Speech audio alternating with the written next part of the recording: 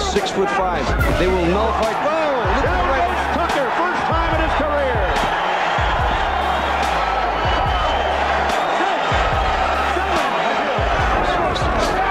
And they are making their presence felt. So there's a right hand by Lewis. Beautiful right uppercut by Lewis there.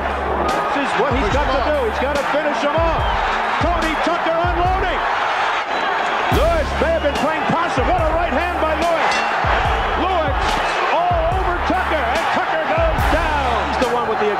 Tucker with a right cross.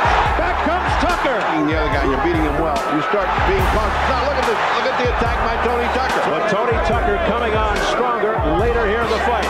They said, okay, go back to the attack. And again, we harken back to the two judges from Great Britain. winner, Lennox